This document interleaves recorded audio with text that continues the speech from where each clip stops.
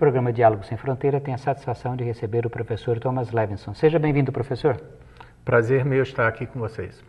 O professor Thomas é da área de biologia, ele tem uma atuação aqui na Unicamp há muitos anos, tra trabalhou também em diversos programas, tanto no estrangeiro quanto no Brasil, na FAPESP, em outros órgãos. É, tem uma experiência realmente única no âmbito das questões ambientais, da biodiversidade. E justamente o tema que hoje professor vai nos é, brindar é sobre os desafios conceituais para uma política de biodiversidade. Então, é, se estamos falando em conceitos, professor Thomas, eu gostaria de começar justamente com essa questão digamos, da biodiversidade. O que é que nós podemos entender? Porque nós, assim, no cotidiano das pessoas, muitas vezes passa como uma coisa até é, um jargão que as pessoas não, não sabem bem qual, a, qual o sentido da biodiversidade. Esse é exatamente o, o, o problema inicial que eu queria propor. Uh, muitas vezes a gente pensa que uma discussão conceitual é algo que interessa mais aos teóricos, aos, a quem está interessado em ciência básica, mas que isso não tem uma importância prática grande. Não é o caso da biodiversidade, porque a demarcação conceitual da biodiversidade é fundamental para tomarmos decisões, para podermos formular políticas e fazer escolhas em relação a essas, a essas políticas. Então, o conceito inicial da biodiversidade, ele ah, tem um problema ah, estrutural. Esse problema vem da definição de biodiversidade que foi adotada pela Convenção de Diversidade Biológica, que foi iniciada na reunião conhecida como Rio 92, que se realizou há 23 anos no Rio de Janeiro. E aí se estabeleceu uma convenção que foi assinada por muitos países, uh, começado pelo Brasil, uh, e que firmava certos compromissos em relação à diversidade biológica. E para isso era necessária uma definição formal de, de biodiversidade. Infelizmente, a definição que a própria convenção adotou é um pouco ambígua. Ela fala que diversidade é a variedade da vida em diferentes níveis e instâncias. Uh, ela fala em diversidade dentro de espécies, entre espécies e em, entre ecossistemas mas não fica muito claro o que, que isso quer dizer. A definição que nós uh, temos utilizado, ela tem que ser abrangente, como essa definição da convenção, ela deve cobrir todos os aspectos, desde a diversidade genética até diversidade em grande escala. Então, manifestações da variedade da vida, desde a escala molecular, que é a diversidade genética de cada organismo, até a diversidade de espécies que você tem ah, em diferentes lugares, regiões, ecossistemas, continentes, até a diversidade de grande escala, que é a diversidade de paisagens, é a diversidade de ah, grandes espaços naturais ah, que um país ou um continente contém. Então você tem, na verdade, um conceito bastante complexo, porque ele vai desde o, o, o nível a, Nano. micro, né? desde a escala molecular até a escala planetária. E uh, é um desafio, então, grande de você integrar, antes de mais nada, essas diferentes escalas, porque, historicamente, uh, há muito conhecimento acumulado, mas conhecimento diferenciado, são diferentes especialidades que tratam dessa variedade da vida nesses diferentes é, níveis. Essa acho que é uma pergunta, professor Thomas, que surge no âmbito assim dos, é, da, dos estudiosos em geral, nós que estamos na academia, porque é, nós fomos criados naquela tradição de hiperespecialização, que vem lá do século XVIII, acentuou-se no XIX e no XX. Quer dizer, cada um de nós aprende cada vez mais sobre menos. Né? Conhecemos muito sobre pouco e, portanto, uh, o conhecimento ele vai cada vez mais se fragmentando. Há já algum, algumas décadas se propugna também o contrário. Não, é necessário que nós tenhamos uma visão é, que seja trans, transcenda essa, essa, essas super especializações sem as desqualificar. São necessárias as especializações, as, as, o estudo específico é necessário, mas nós temos que ter uma visão também mais ampla. Então, nesse quadro, que eu estou falando que o professor mencionou da, no que se refere à biodiversidade, como é que o professor caracterizaria justamente o desafio específico, que é justamente lidar com especialistas em, em áreas tão diferentes, Porque do nível molecular ao nível planetário são, são, são tão diferentes as questões e os, as especialidades, como fazer com que isso possa confluir?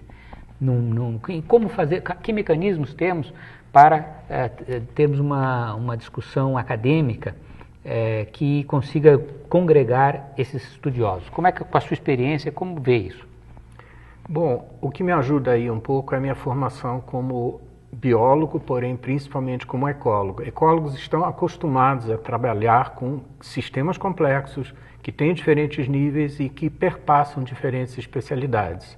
Então, não apenas em relação à biodiversidade, mas outros problemas de ecologia, ah, nós convivemos com essa necessidade de integração de especialidades e disciplinas há muito tempo e a gente tem que desenvolver maneiras de fazer isso e fazer bem. O grande desafio é você integrar de fato e não ah, pro forma, você integrar efetivamente. E eu acho que ah, o caminho é muito simples. O que reúne esses diferentes, essas diferentes camadas, escalas dos fenômenos relacionados com a biodiversidade são processos causais que ligam diferentes escalas e problemas cuja solução não se restringe a uma única escala. Então, se nós pensarmos em problemas uh, concretos, uh, agudos, que nós temos que, que nos defrontamos de imediato e que precisam de uma, de uma intervenção do, do, do conhecimento científico, a, o ataque a esses problemas, a compreensão desses, uh, desses problemas não vai se dar uh, no âmbito de uma única especialidade. Então, aí, por definição, o, os problemas vão reunir os especialistas e os processos causais que nós vamos ter que usar vão ter que integrar os especialistas. É, porque justamente a solução de, de problemas é uma, até uma técnica é, também no âmbito da pedagogia, no âmbito, digamos assim, do ensino, da, da, do conhecimento, que é, tem se aventado nas últimas décadas justamente isso, que é, em qualquer área do conhecimento você tem um problema concreto e aí, é, para solucioná-lo, pessoas com diferentes formações ou diferentes bagagens podem ter a sua contribuição. É, agora, a, a, o desafio que eu perguntaria agora ao professor é, é em termos justamente burocráticos, administrativos ou mesmo acadêmicos, porque nós ainda somos muito é, governados pela disciplinaridade. Dizer, as carreiras são disciplinares, os comitês, com, com alguma exceção, são disciplinares e assim por diante. Quer dizer, a, a, essa, essa proposta da resolução de problemas ela ainda encontra resistência. E como o professor acha que isso pode ser vencido no geral e em particular no âmbito é, do problema da biodiversidade? Ah, eu acho que não tem. A solução passa por, ah, em parte, trabalharmos com a, a flexibilidade que exista nas instituições, nas instâncias, e, em parte, forçar os seus limites. Nós forçamos os limites criando novas estruturas, fazendo elas funcionar e mostrando que elas são necessárias e que elas são eficientes. Então, nós uh, vamos reunir uh, conhecimentos e especialidades, independentemente de que, qual é a, a vinculação dentro de um setor acadêmico. Uh, isso, a universidade, pelo menos nominalmente, ela apoia. Na prática, ela resiste um pouco, mas como existe o apoio nominal, nós podemos trabalhar com essas, essas possibilidades. Isso fica mais difícil no âmbito institucional. Eu tenho sido perguntado com alguma frequência ao longo do, do, dos anos sobre a política ambiental do governo brasileiro, fora do Brasil. E a minha resposta é de qual pedaço do governo? Uhum. Porque um dos grandes problemas que nós temos em relação às questões ambientais no Brasil é que nós não temos uma política, o governo não tem uma política.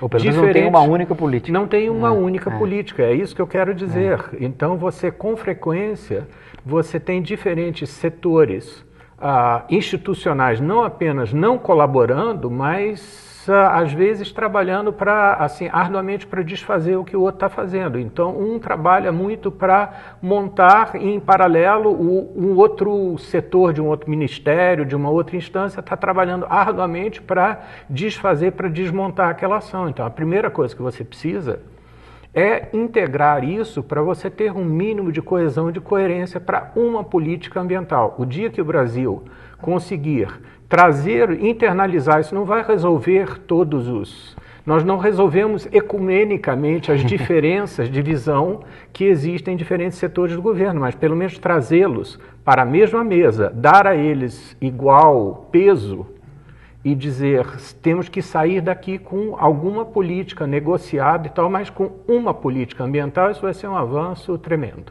Agora, professor, com a sua experiência internacional, que é muito ampla, é, eu perguntaria justamente se é, um, em outros ambientes, em outros países, né, em outras circunstâncias, em outras comunidades, como a, a União Europeia, quer dizer, se, se em outros âmbitos esta maior coerência, menor é, dispersão é, administrativa das políticas, ela, ela tem ocorrido? Quer dizer, como é que o professor faria um balanço? Porque fez uma, uma análise da situação brasileira, né? bastante percussiente. Mas e, e no âmbito internacional, nós podemos ser mais otimistas? Há uma maior integração é, em outros âmbitos, em outros países, em outras circunstâncias?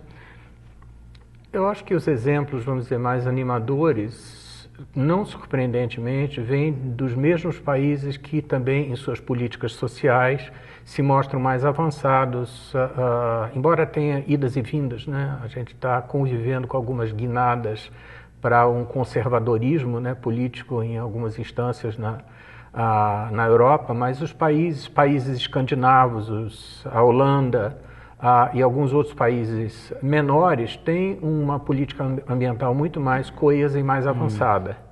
Ah, mas eu diria que o primeiro passo para isso não tem sido propriamente a integração, mas o reconhecimento da densidade desses problemas e que eles têm ah, são problemas de primeira estatura, de primeira importância, da mesma importância que problemas sociais, problemas de educação, saúde, ah, e assim por diante devem ter. Estão na mesma escala e não ah, devem ser tratados como, um, como problemas que são, de certa forma, ah, alguns anos atrás no Brasil havia uma visão de que cuidar do ambiente, né, quando ainda se pensava que se tratava de cuidar do ambiente, não ganhar sim, também com ele, era um luxo para depois do desenvolvimento. Primeiro a gente desenvolve, isso é mais ou menos da mesma época que se dizia o bolo primeiro tem que é, crescer, depois a gente divide. O ministro Delfim Neto, né? Exatamente. Então, na mesma veia, tinha essa ideia, olha, mesmo das esquerdas. É. Uh, primeiro nós temos que resolver os problemas uh, sociais, desigualdades, depois a gente vai ver esse, esse negócio de, de meio ambiente. E não funciona assim, porque essas questões se interpenetram e elas não devem competir, na verdade, devemos entender que as soluções para muitas uh, questões do âmbito social têm desdobramentos ambientais e recíprocos. Então, que a gente tem que pensar ness, nesses problemas, pelo menos conjuntamente, em paralelo. Isso, alguns outros países têm, mesmo que eles não integrem por completo, mas eles, essa percepção existe. E se não for isso, é pelo menos, vamos dizer, o reconhecimento da importância das questões uh, de meio ambiente e diversidade. Um bom exemplo, eu acho, é o México. O México formou uma Comissão Nacional de Biodiversidade uh, na década de 90, uh, mas talvez por circunstâncias, pelo fato de que o reitor da Universidade Autônoma do México era um ecólogo e essa universidade é uma potência política impressionante no México. Ela tem a importância de um Estado dentro do, do, do, do, México. Talvez por essa e outras circunstâncias, essa comissão se tornou muito conhecida e reconhecida. Então, a voz dela pesa. Uhum. Não dá para ignorar. Então, a primeira coisa que a gente precisa é que não se ignore. Não é questão de ter a última palavra, mas que a palavra não seja descartada, o que no Brasil ainda se faz muito. Né? Não haja tanta cacofonia.